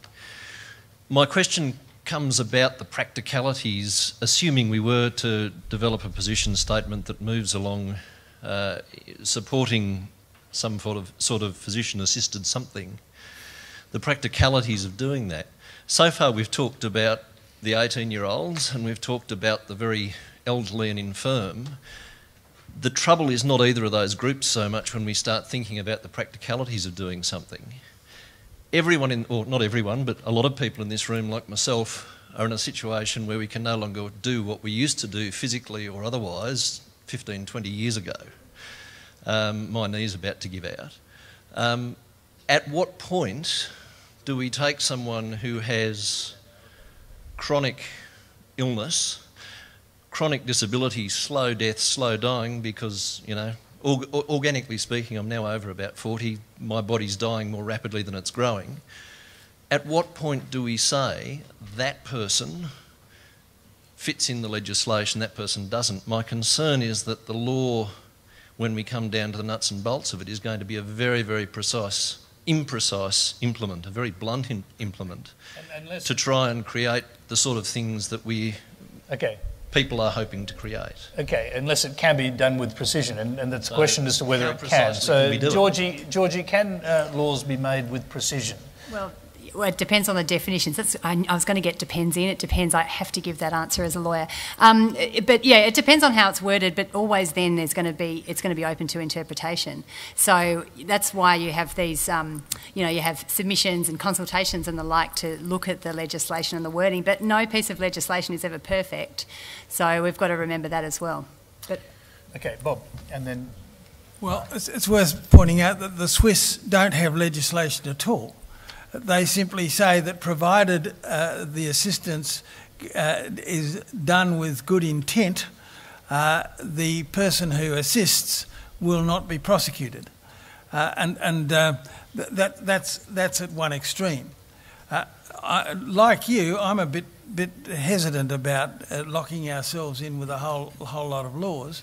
But I do think that if we're going to move beyond this stupidity that we have at the moment, we do have to uh, change that, that, especially that uh, double effect thing, and say it is, it is conceivable it is, that a physician may be, in, in a certain circumstance, be able to assist his patient to die. That we won't, that we will publicly decriminalise it. Now, we, we've effectively done it, but, but it's not fair across the country. Rod Syme's doing it all the time uh, and, and, and publicly saying so and, and, and uh, challenging the, um, the uh, uh prosecutors to take him to court. Uh, what, we what we surely need to do is make explicit in law uh, the fact that this is not a criminal act on the part of a doctor to assist his patient in the best interest of that patient. Okay, Mark. So, I mean, but the question is We've now been uh, having debate about uh, euthanasia and legislation of euthanasia since the Northern Territory, 20 years. We've practiced medicine as a profession very successfully uh, with maybe there's a couple of high profile public uh, issues. And we've done that within the existing legislation very successfully without having to actually undermine 20, uh, 2,000 years of our basic ethical principles about life. So I come back to the same argument. I don't. I think Rodney Syme wants to have a fight. Why do we need one? Um, let me just quickly uh, raise something with you. It came up in um, some research that was thrown our way, uh, the ABC, but one of the big questions is whether many doctors are already intentionally hastening the deaths of terminally ill patients. And a survey in 1999 of 683 Australian surgeons showed that 36% of them admitted they had administered drugs in greater than the amount, amounts required with the intention of hastening death. 23% of those surgeons said they did so without consulting the patient. Um, so, is it already happening? And is that part of the reason why it needs to be codified in law? Well, I, I think that depends on where you see ourselves as a profession. I mean, we, we have a very strong ethic. We have legislation such as in Queensland, which says uh, we can manage the double effect uh, so long as it's consistent with good clinical practice. It's a very strong piece of legislation. Uh, I've, I've, seen uh, Joanna here, so she could speak to our current uh, medical board, Australian Medical Board Ethic, and this has not been challenged, and it's not challenged because, in fact, there's good communication with families, there's shared endeavour, there's shared thinking about how to deal with an issue, and we deal with it. We're doing that without having to fundamentally undermine basic professional ethic. And I think, as a professional, as a doctor, if I don't have to go home every night worrying about have I actually made this right decision, dwelling on those issues, I don't think I'm doing my job. And I think we want to sterilise everything we do. We want to sterilise death because we want to make it so clean and the lawyers get involved. Then it's no longer, it's just so we don't have to think about it again. I think that's a real mistake because what it'll do is undermine what we are, which is a profession. Tony, Tony, can I yes, just make yes, one yep. short point uh, in response yep. to the previous question? Um, in essence, the question was about where do we draw the line? Um, that's a scope question. Who falls into the category who will qualify for assisted dying should the legislation be introduced? As Tony indicated earlier, um, uh, Oregon has put very heavy dark lines around the, around, around the boundary. Um, terminal illness, six months to live, uh, prognosis, and so on. So there are scope questions there clearly. The th one of the essential features of the law, whichever a category of the law you look at, uh, lines have to be drawn which cannot be that good. They're, they're often always fuzzy. Think of negligence uh, litigation. Think of all sorts of different areas where judgments are made not on, numeric, on a numerical basis, um, but it's a judgment. Um, so I don't think that argument, and I'm not suggesting you're putting this argument against legislation, um, but I don't think that uh, if, it, if it is put as an argument, oh, we can't draw lines, we can't circumscribe things adequately, so we shouldn't have it, I don't think that runs. Okay, let's try and get through these questions. Um, the people have been patiently lined up here. Um, we've got three of them. We haven't got a lot of time, so I might just go, go to individuals or one or two people. Thank go ahead. You.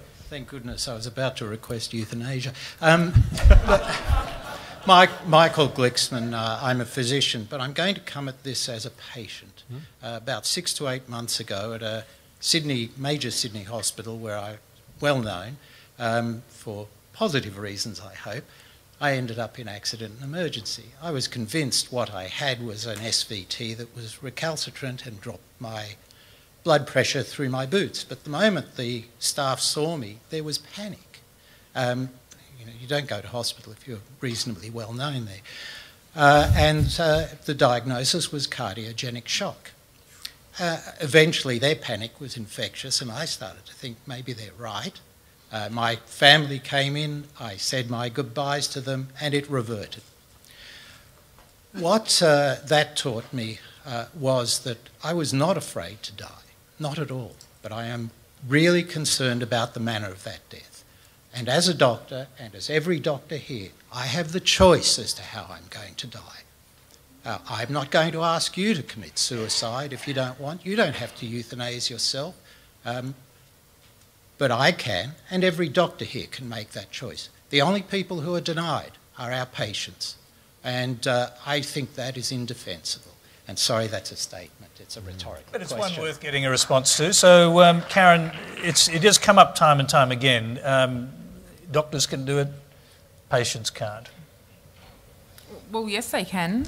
I'm, I don't understand why you Well, said not, well, not, um, not What- what unless they they illegally get access prescribe to them. themselves? Yeah.